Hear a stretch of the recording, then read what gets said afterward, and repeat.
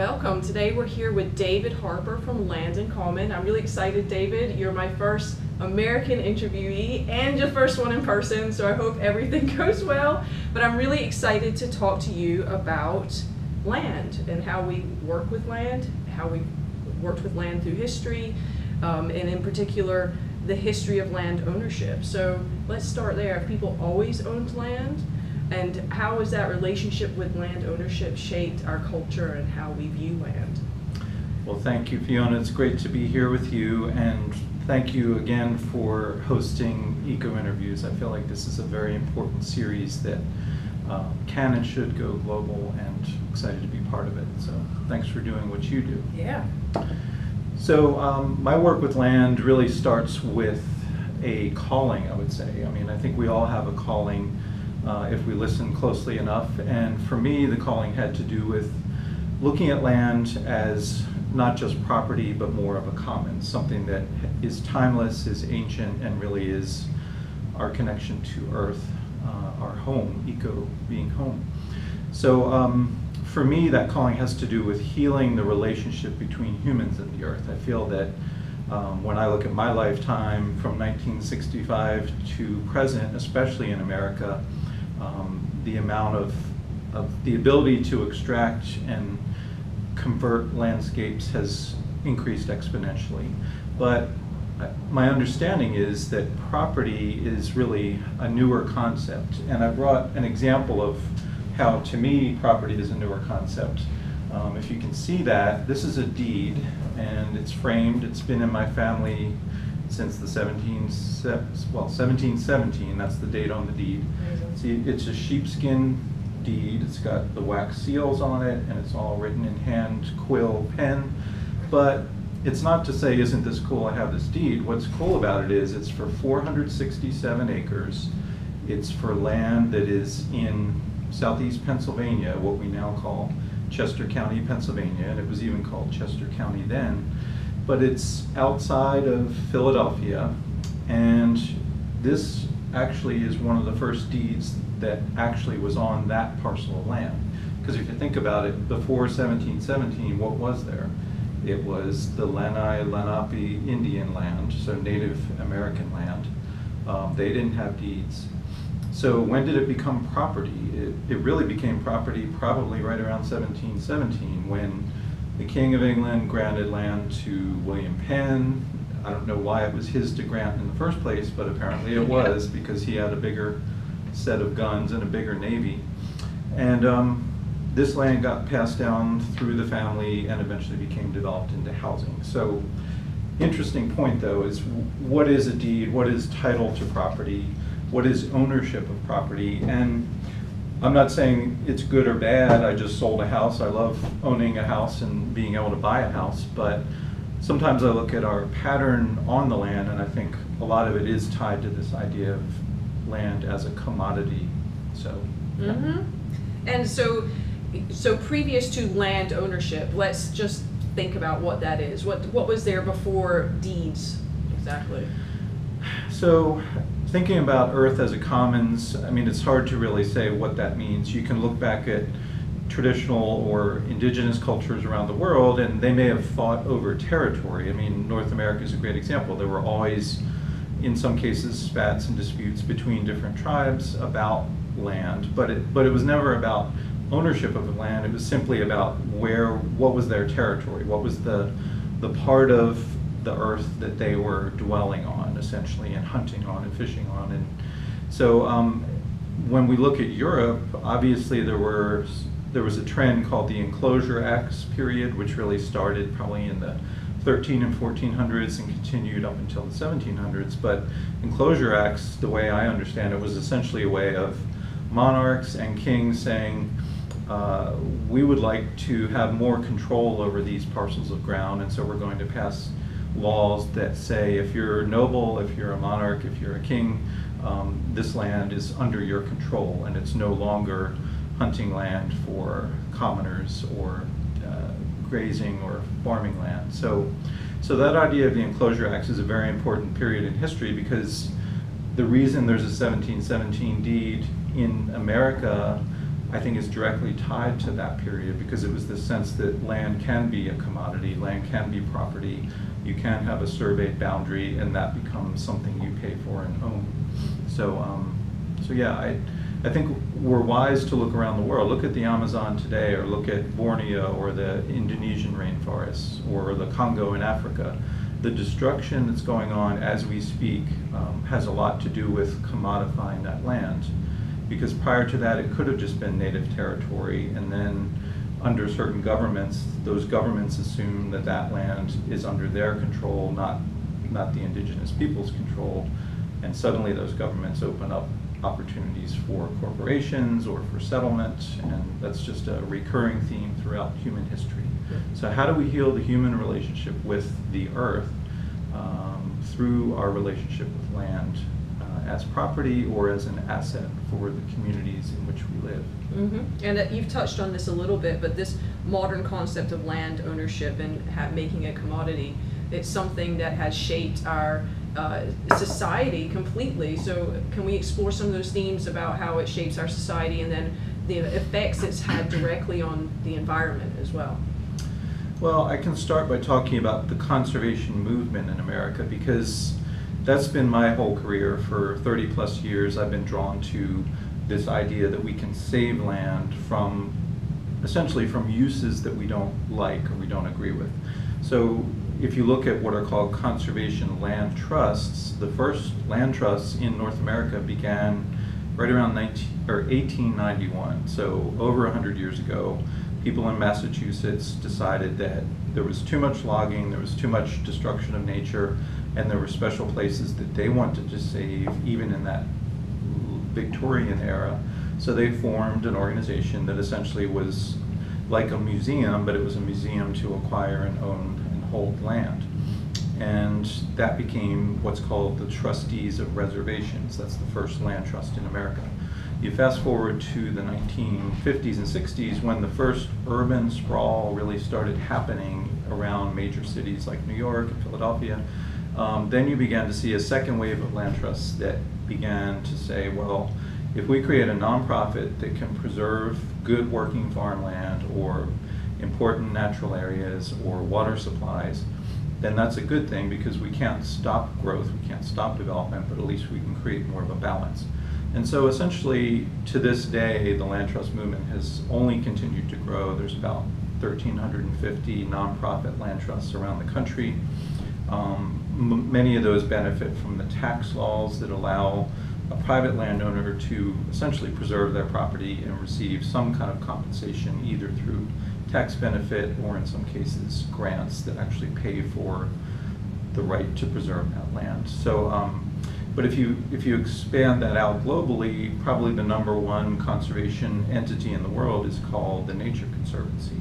So they're one of the top nonprofit organizations anywhere they acquire and own and manage land all over the world in all continents except, I think, Antarctica, um, essentially for preservation of nature, biological diversity, and rare habitats and rare species. So the fact that those exist is a, is a sense of saying there is a stewardship ethic among humans. Humans do know that we can't just keep taking, we can't just keep um, turning land into uh, commodity, commodities. And in fact, I think one of the best quotes that captures that stewardship ethic was a gentleman by the name of Aldo Leopold.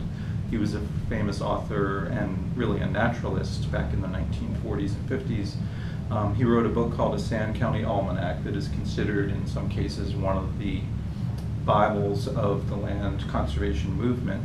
And his quote was that we abuse land because we view it as a commodity belonging to us. When we begin, when we see land as a community to which we belong, then we will begin to use it with love and respect. And so that idea of community versus commodity, abuse versus respect, I mean, those, those are very important terms in how we relate to land. So not to say that land use and land development are bad things. We all need to live, we all need to buy groceries, go to school, everything.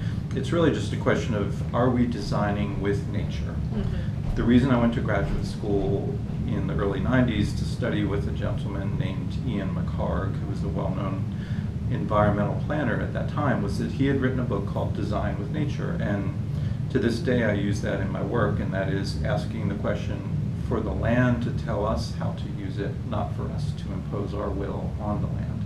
Okay. So let's do things in a way that fit within the ecosystem that we are part of and that supports our life. hmm Yeah, super interesting actually. Um, a few things that are running through my head. Uh, treating land as a commodity. An easy, an easy example for me to understand why that doesn't always work is you may be able to put a fence around the land, but the stream that runs through your bit of land also runs through your neighbor's land, and the air that you breathe is all over. And so, to treat it as my parcel, I can do what I want, is not being a good neighbor, I think, to those around us. Um, but also, I'm interested uh, conserving conserving land versus being uh, being a human within nature. That is super interesting because, as you mentioned, yeah, we we do have to live. We have homes, and that has always been that way from ancient times. That we have developed places to live, and we developed the land to help feed us. And is there? I'm I'm noticing in some circles that there's a little bit of a backlash on the straight conservancy, conservancy, I don't know if that's the right word, conservation aspect of fencing off something and just not allowing anyone in it. Do you get into that aspect at all? At all?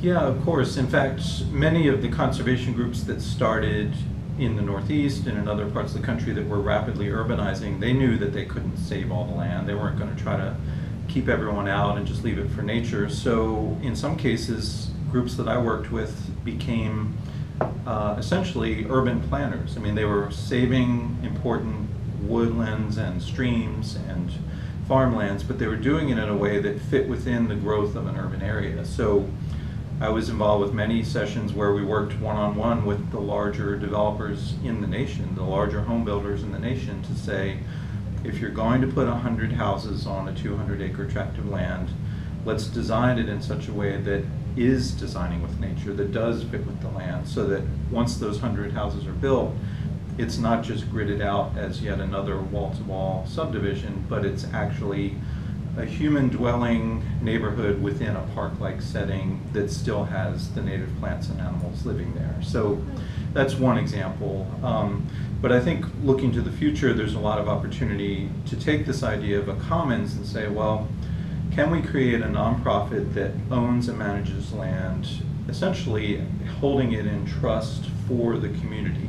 So if you take land off the speculative real estate market, you take it essentially out of either being private property or public property like a park, what's in between public and private might be this nonprofit ownership that is more of a commons. And essentially, it can be created to hold land in trust for community use, but the use might be agriculture in a way that is ecological farming. The use might be selective forestry in a way that still keeps the forest healthy but uses the timber wisely. So, so there are different ways to look at stewardship of land and ownership of land uh, that are not about fencing it off from humans, but saying let's live responsibly as humans within the ecosystem. I love it. Is this something you're you're very involved with the agra- agrarian trust? Is this a, a, a theme within the agrarian trust? Can you talk to us about that? Sure, yeah, I'm glad you brought that up. So, as part of the what I would call the evolution of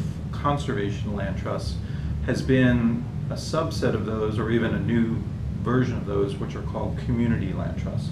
So essentially, community land trust, instead of saving land for nature, saving land just to keep farmland scenic and productive, they're actually saying, how do we save land that's for the future of farming, that's for uh, beginning farmers to have access to land, even if they can't afford to pay, you know, 10, 20, 30,000 dollars an acre, which are often the prices for farmland close to where the market is, which would be urban settings or suburban settings. So uh, Agrarian Trust started probably 2013, 2014, uh, really grew out of a group called the Greenhorns. The Greenhorns was a national uh, movement representing the young farmers in this country, the beginning farmers, and essentially saying we have a voice, we have a presence. Even though farming used to be something that they, even the federal government said you either get big or you get out, Mm-hmm. there's a whole generation of people now saying we want an agrarian life. I want to grow food for my community. I want to to work with the soil and do it in a way that doesn't use chemicals. And so that next generation of farmers, um, uh, essentially the the group, the Agrarian Trust, formed as a nonprofit in order to hold land in trust for the benefit of beginning and next generation farmers. So it's working in different states around the country. I'm assisting with some projects, uh, both through fundraising, but also through um, essentially helping landowners who decide that they either want to give land, gift their land into that agrarian trust, or sell it, and helping find ways to raise the money to buy that land. But these are often landowners who say, my farm is special to me, my farm means something to my family, but I want it to be a bigger legacy than just turning it on, turning it over to the next farmer or to a developer. I would like my land to become a legacy that is a, essentially a commons for food production in my community indefinitely. And that's what Agrarian Trust does. That's amazing. Yeah, my understanding of the um, the North American farming landscape right now is like the average age of a farmer is 65 or 70 and usually their children don't want to farm. They grew up in a they, they're just not interested. That's quite common. You don't necessarily always want to do what your parents want to do. So uh, I've heard at least that there there is going to be a crisis of land in the next 10, 15 years as these farmers die off, and it's either going to be gobbled up by huge corporations that use chemical farming and monocropping and things that we're realizing maybe aren't benefiting us that much. And so, but then there's a whole generation my age who didn't grow up as a farmer, but we kind of want to be farmers, but maybe we don't have the capital. So it's exciting to hear that there's programs out there that are trying to to address this problem, right?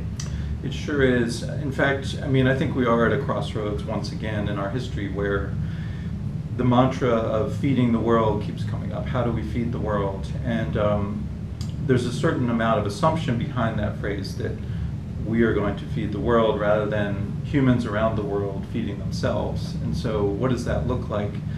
If it means 7.7 billion people on the planet now, projected to reach 9 billion over the coming decades or even higher. If it means creating technological solutions, industrial agriculture solutions, genetically modified foods, um, you know, laboratory foods, all the things that seem to be uh, coming up as profitable markets for feeding the world um, that's a whole different mindset than a community saying, how do we provide food security and nourishment for our own community? How do we think as a region in a way that doesn't depend on global shipping, in a way that doesn't depend on Monsanto or Bayer or one of these companies to create the next genetically modified food or the next chemical based agriculture system? How do we feed ourselves in a way that's really creating an economy within our bioregion. That, that term of bioregion is an important one. When I talk about native land, I mean, you look at where we are sitting right now today in Columbia, South Carolina, you can say this land has been property for probably 250, 300 years, but before that, um, or at least right around the 1600s and, and for thousands of years before that, it was essentially Catawba Native people as well as Congaree Native people. So if anyone doesn't know what their land, where they sit today, uh, originally was and who, who were the stewards of that land, it's an important question to ask. But as we fast forward to now, thinking about that bioregion, the same way the Catawba people thought about this region, we know it has pine forests, we know it has sandy soils, we know it has freshwater streams, and we know the species that live there the same way they did.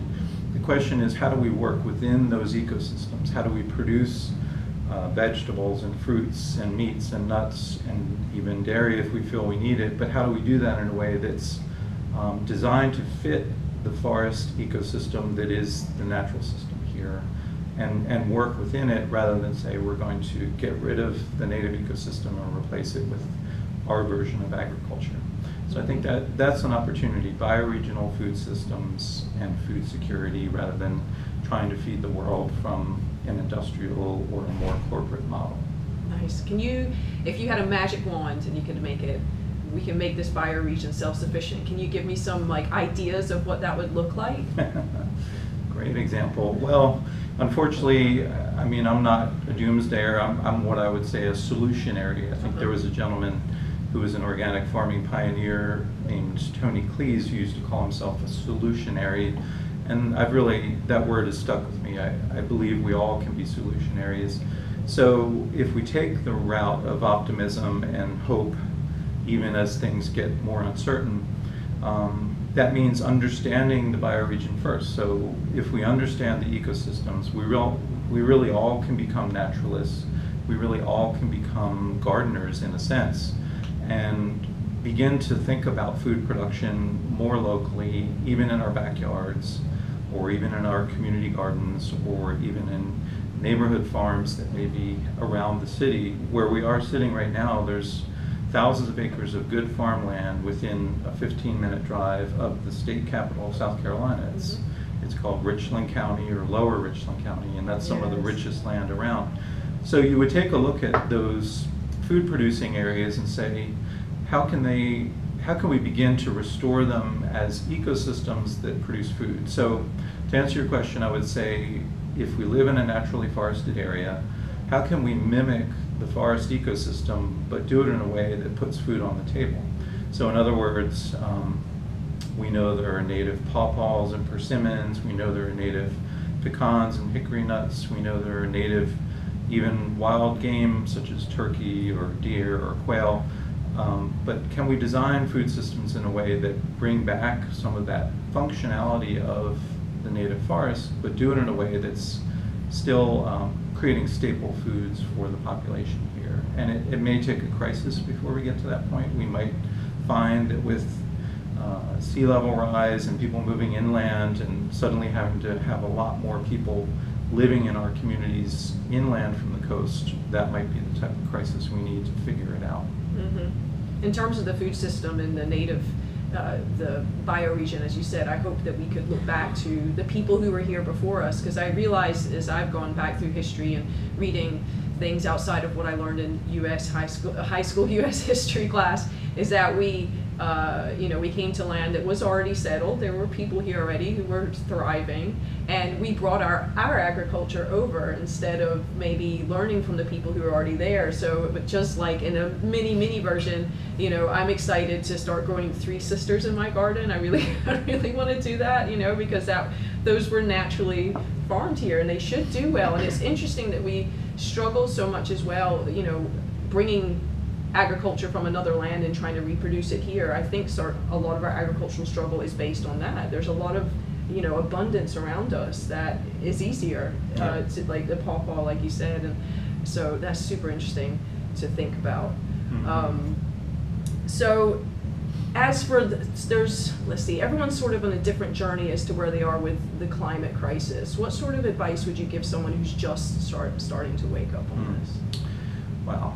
Um, so I think we make a lot of assumptions that you're either with us or against us. You know, you either buy into that this is all caused by humans and we've got to dig ourselves out of a hole, or you feel like there are too many questions and we don't have all the answers and we'll just ride it out and see what happens. So, um, whichever perspective you take, I don't think for me, it's not worth putting energy into is this an anthropogenic cause or an ecogenic cause? You know, is it caused by humans? Is it caused by natural systems on their normal path? Um, I don't know that we have the answer to that. What I know is if you look at those curves of carbon emissions, it's pretty eye-opening within the industrial era. It's just, there's no doubt that, you know, carbon is in the atmosphere. Um, so the amount of, you know, parts per million that, that, what is it, 400 plus parts per million, I mean, that's staggering compared to 3 million years of history where there have never been any evidence that that level of carbon has been in the atmosphere. I'm also amazed if you really research it and try to understand it. Um, you know, there are different warming periods and cooling periods, and so we can't claim to know all of the history of those cycles throughout history prior to humans. But um, what we do know is that there are other forces at work too. If you think about all of the clearing of land that goes with agriculture, especially under industrial agriculture for the last hundred plus years, with tractors, with technology allowing more plowing, more tilling, more clearing. There's, there's a soil scientist, I think based out of Australia, a woman who, her name escapes me now, but her theory is that we've released so much soil moisture into the atmosphere, not just um, carbon, but the actual water that every year would be held in deep-rooted natural systems in the soil as a living soil. Because we've converted so many living soils into essentially dead dirt, you might say, um, that's, that moisture holding capacity is essentially gone in any given year so that so much more water is up in the atmosphere as soil humidity rising up that that in itself could act as a way of capturing heat on the planet. So if you combine carbon with things like methane, but also um, essentially saying maybe soil humidity is a greenhouse gas unto itself that we've caused, that's a pretty staggering possibility. So to me, all signs keep pointing back to ecological systems, whether it's human dwellings, whether it's energy production, whether it's food production, all of those point back to learning from the land on which we live, learning from the ancient natural systems that are here, and finding ways to mimic those. Essentially, it's biomimicry at a landscape scale. So that, that what, that's what brings us to the food forest idea. So if someone wants to have um, a vision for hope in the future, then perhaps it is not just saving farmland and not just preserving the idea of farming, but actually reinventing what farming looks like and reinventing how we feed ourselves at a community scale. Mm-hmm. So I, um, yeah, there, that's a, there's a lot more to talk about there. yeah, I was, I'm absolutely geeking out so much right now because I'm doing a regenerative gardening course and I was completely unaware of the carbon sequestration ability of soil. So I want to do talk, want to talk about that because I think a lot of people don't understand that, myself included, until the past year. So, uh, and please correct me if I'm wrong on this, but you know, um, we have the parts per million in carbon is incredibly high 400 parts per million that is that is crazy and it's the greenhouse gas but it is also the degradation of our environment because as we were taught in school plants take in carbon dioxide and they release oxygen and we take in oxygen and release carbon dioxide. So I find it interesting with some of these technological fixes for climate change is trying to create machines that are going to suck carbon out of the air when in reality we have that all around us. The ocean is a carbon sink and it's taking in so much carbon it's becoming acidified and so fish are dying. Our trees, as we cut them down, we're losing those but you know even our lawn you know the grass that we grow in our lawns is a very very shallow root system and they just don't they're not they don't take in the carbon dioxide that maybe natural long grasses or trees or shrubs would take in. And not only is the shallow root an issue, an issue for the carbon sequestration it also also leads to the issues that we have with flooding and storm runoff. So i mean who knew that my lawn was a not like causing issues, but B also a, a, solution. You know, I can work on my little one acre and try and turn that into um, something that's going to suck the carbon down. And it's this whole circular motion that somehow people have extracted themselves from when the rest of the world is in this natural cycle talking about you know even breathing and eating but also the food that we eat instead of it going to the landfill you compost it and it goes back into the garden and grows food and it just excites me so much. So i imagine a, a lot of your uh, you know uh, bioregion and shrinking down of trying to make this local is including that. Is that correct? Yeah? Exactly. Um, one of my favorite quotes is from a guy named bill mollison. Bill mollison was considered the founder of what's now known as permaculture. So permaculture grew out of a movement in Australia back in the 70s, but today it's worldwide. It's a very um, important concept that borrows from ancient traditions of indigenous people, but also looks to a future of ecological design. Essentially says, how do we meet human needs?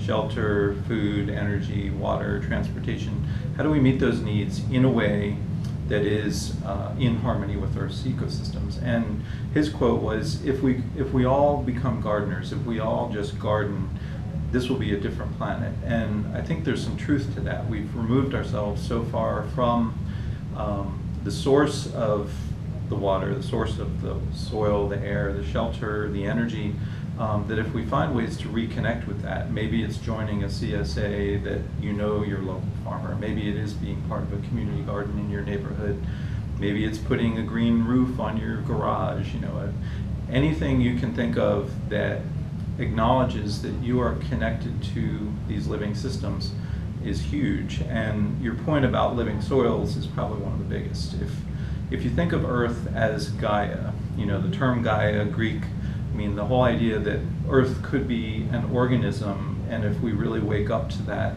that not only does Earth contain living systems within this very thin biosphere, but all those living systems somehow function together to regulate the planet we're part of that. So if we throw it out of whack with carbon, if we throw it out of whack with clearing way too much land for the systems to work, then the onus is on us to put it back in balance. If, how do we reset the balance that we've upset?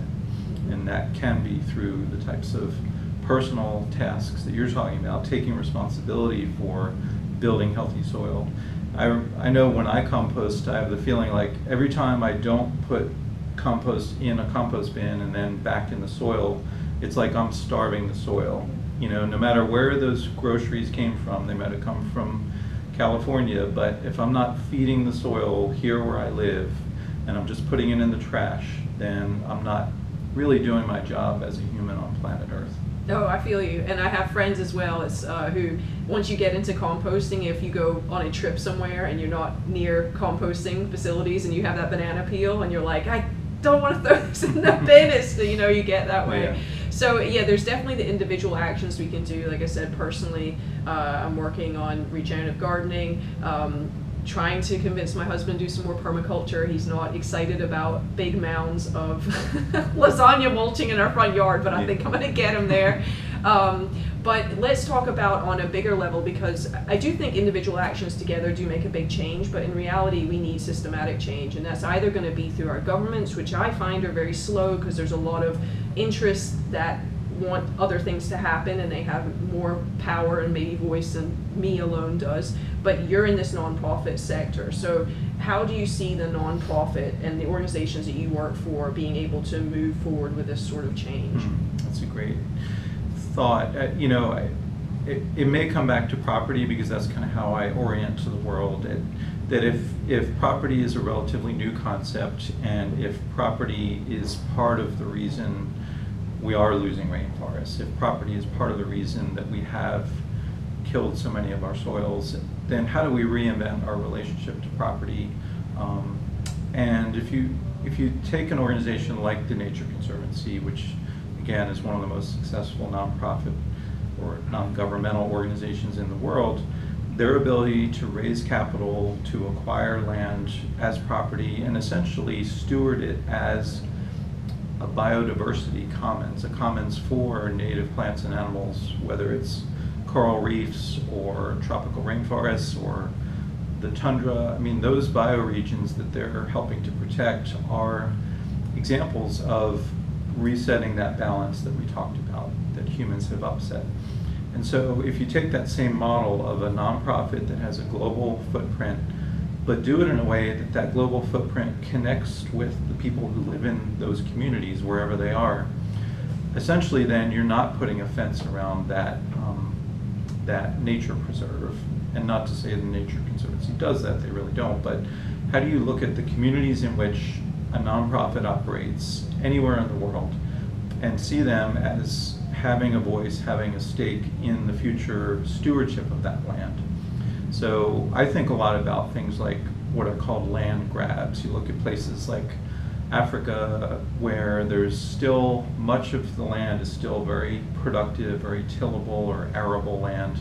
Um, even in places we might consider very hot and dry, there's still very much productive land in Africa that as we speak, um, there are large pools of capital, there are large investment pools, um, often with US roots, that buy up land around the world in what's called farmland investing. And farmland investing on its own doesn't sound like a bad idea, but what's happening, that I'm concerned about are huge areas. I mean, tens of thousands of acres at a time in places like Tanzania or Ethiopia or other parts of the world where these investment pools have identified the most productive land. They've worked with tribal leaders or government leaders to say, we would like to acquire this, we're going to help create jobs. But essentially, the pattern is industrial agriculture on a huge scale in developing parts of the world, and the people living in those communities on that land either becoming employees of those industrial farms or uh, moving off into urban areas, which, as we all know, are essentially slums that keep getting bigger and bigger and bigger in many, many cities.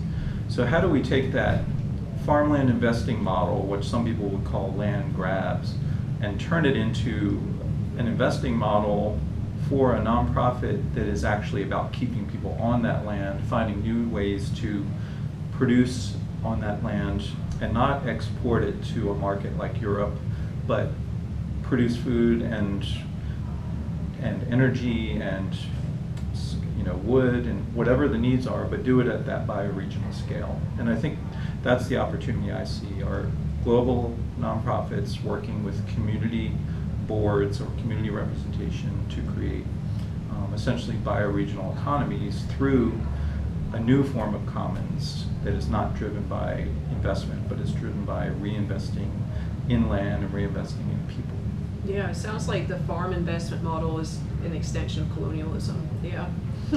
yeah, I mean, there, you know, if, if you take the political terms that we use and, and we're trying to wake up to these legacies of abuse of land and commodification of land, then yes, uh, if you're not calling that land a colony of, of a country, it can suddenly become essentially a colony that's just under the title of whoever owns it and whatever um, company or group of companies own it. So, Mhm. yeah.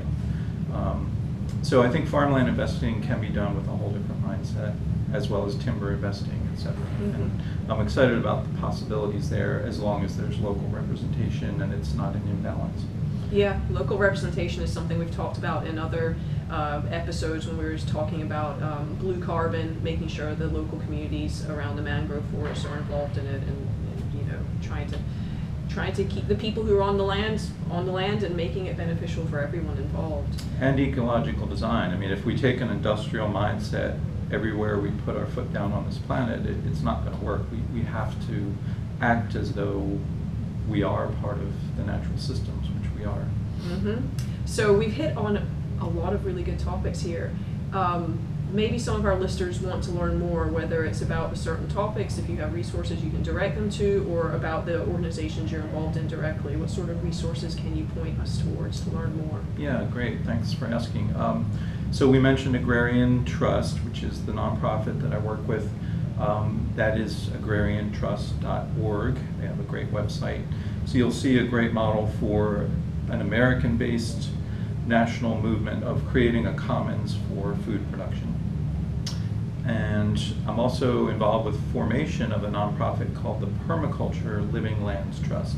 And it's a really exciting idea that, you know, permaculture is a global movement with thousands of people who've learned skills, taken these trainings, and then combining that with the global conservation movement, which is essentially saying let's create these nonprofits to own land and hold it in trust for community benefit. So combining those two, we, we're creating the Permaculture Living Lands Trust, and that is on Facebook. We're creating our webpage now, but it's Permaculture Living Lands Trust uh, under Facebook. You'll see us, so check that out. But um, my work is going to continue in in those avenues um, with those types of organizations, and um, I, I think there are many others out there. So if you're interested in you know, my personal recommendations for your own life path and your own research. I'm always happy to share ideas. Um, so I guess you can make sure my email is in there somewhere. Exactly. We'll Yeah. link you up in the show notes for sure. Um, do you want to? Would you like sharing some information about the um, you and your wife are on an indigo farm? Is that correct? Thanks for asking. Yeah, so my wife is a textile artist. She is originally from France, and um, her company that she launched five years ago is called Chi Design in Indigo, like Chi, like energy in Chinese. Um, so C-H-I Design Indigo. And she has a website.com. She, um, because we live in South Carolina and because there is a history here of working with indigo plants to produce that magical blue dye, um, she has actually started her business to, to look at the future of indigo, um, not only in South Carolina, but in other places such as France and, and her homeland. So um, we're excited about that. She's, she's done some excellent work with creating textiles for personal fashion or for interior design, but we do that in a way that grows the same plant that was grown here in the 1700s. Um, unfortunately, it has that heaviness of the slave economy because it was a, a plant that was grown uh, on plantations by slaves. But the story is there was a woman named Eliza Lucas Pinckney who was a teenager who uh, essentially developed a way of producing indigo with slaves uh, that was able to be exported to England from about the 1740s through the 1770s as one of the main sources of dye for uh, textiles all over Europe. Um, but when the British lost the Revolutionary War, that industry went away, uh, and to this day, when you buy natural indigo dye, much of it comes from the Bengal region of India, and that's where the British moved their uh, production at that time. So we're part of a, a, whole network of producers here in South Carolina working to bring back indigo.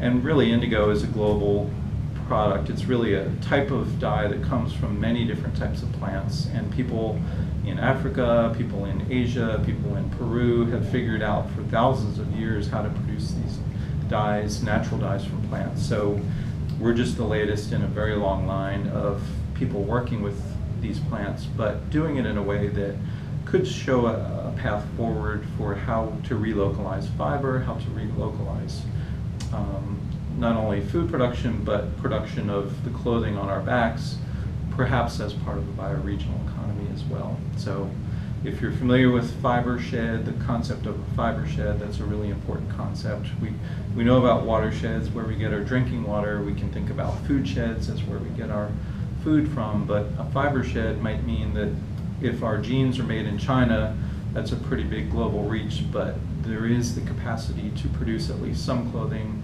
from products grown within the places that we live. Mm-hmm. So interesting. I, I look forward to, to seeing some of your wife's work and maybe getting my hands on it. I've noticed a resurgence in natural dyes in this area in particular, even uh, the the wife of my veterinarian does natural dyes using onion and uh, vegetables and stuff like that, and the colors that come from it are just beautiful. So that's exciting. Well, David, I really appreciate you taking the time to do this. It's super interesting. I could talk to you forever about land and land in common, and our food systems and um, bioregency and all that sort of stuff. So I appreciate you being with us. Well, thank you, Fiona. It's so nice to be here, and long live the earth. Yes, thank you, David. Thank you.